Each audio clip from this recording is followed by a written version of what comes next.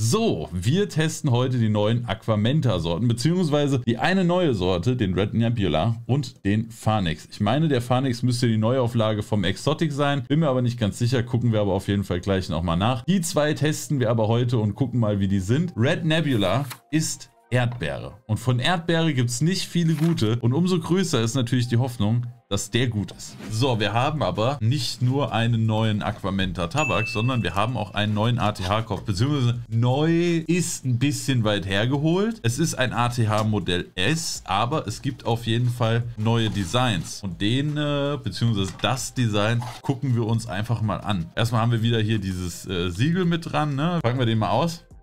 Ich mache dieses Band an und sage, packen wir den mal aus.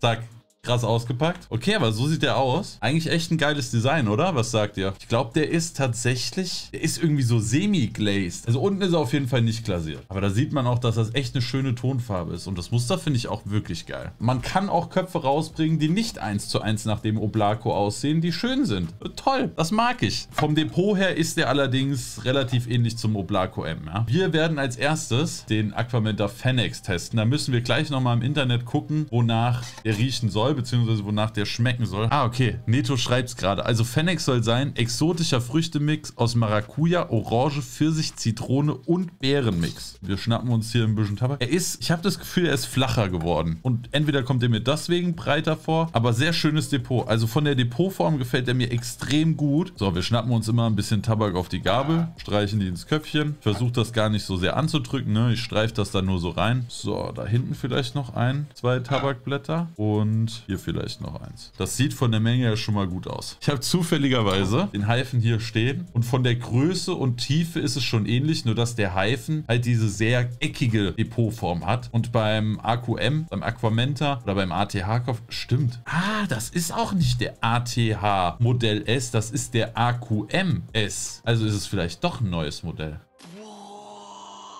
Wild. Wir müssen noch ein bisschen verteilen. Das sieht noch sehr chaotisch aus hier. Also ich kann auf jeden Fall schon mal sagen, dass der extrem geil riecht. Jetzt weiß ich auch, warum ich an, an Fanta denken musste. Wahrscheinlich wegen der Orange, die dann eher so in so eine Orangen-Fanta-Richtung geht. So sieht das Köpfchen aus. Zwei Flocken Tabak zu wenig drin. Kann schon nichts werden hier mit dem Kopf. Wird nicht schmecken. Ist einfach klar. Ganz leicht über den Rand drüber. Sollte also sehr gut Kontakt haben. Und ich denke, farblich passt hier der eher zu als ein Iris.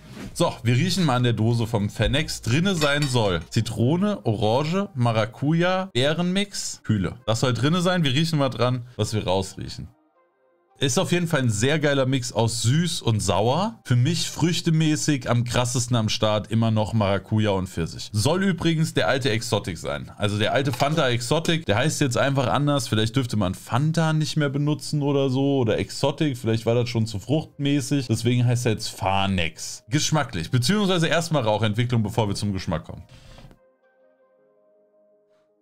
Aber Rauchentwicklung würde ich sagen, mehr als okay. Geschmacklich. Er ist deutlich weniger süß, er ist frischer. Also die Frische hat man auf jeden Fall nicht so rausgerochen, schmeckt man aber definitiv raus. Von den Früchten merkt man ein bisschen weniger als im Geruch. Nicht verwunderlich, passiert oft. Ich finde, jetzt kommt die Orange besser durch. Das heißt, es wirkt so ein bisschen wie eine Orangenlimonade. Wir haben auf jeden Fall diese Exotic-Vibes mit der Mango am Start. Pfirsich ist aber im Geruch wirklich sehr dominant gewesen für mich. Im Geschmack geht der Pfirsich ein bisschen in den Hintergrund. Allgemein ein leckerer Tabak, aber definitiv nicht einer meiner Favoriten von Aquamenta. War aber bei mir auch damals schon bei dem Fanta Exotic so und da haben mich immer viele Leute gefragt, an was für einer Geschmacksveränderung ich leide, weil die den übertrieben übertrieben geil fanden. Für mich war der Fanta Exotic nix. Den kann ich rauchen, muss ich aber nicht unbedingt, ist aber in Ordnung. Also den kann man, kann man, da kann man definitiv mal eine Dose von rauchen, gerade wenn man Bock auf Fanta Exotic hat. Als nächstes gucken wir uns den definitiv neuen Erdbeere an, den Red Nebula.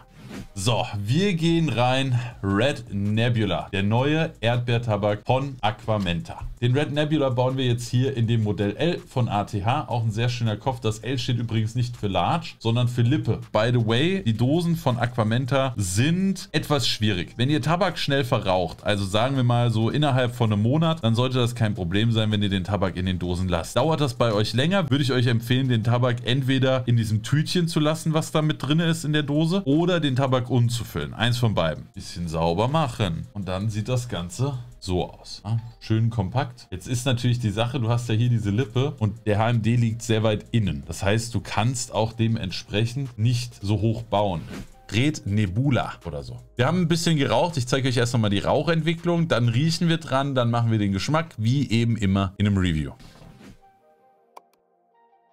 Kann sich sehen lassen, würde ich sagen. Definitiv. Okay, riechen wir mal dran. Also der Geruch ist krass. Der Geruch ist wirklich krass. Wenn man die Nase tief reinhält, hat er irgendwie sowas Chemisches. Aber nur, wenn man wirklich so richtig die Nase da reintunkt. Ja, soll man eh nicht machen. Wenn du so ein bisschen die Luft zufächerst, riecht das wie ein, ein Erdbeershake, aber nicht so eine krasse Shake-Note. Aber die Erdbeernote, die in Erdbeershakes drin ist, ist die Note, die im Red Nebula ist. Okay, ich denke, das ist äh, so verständlich. Da läuft einem auch direkt das Wasser im Mund zusammen. Geschmacklich.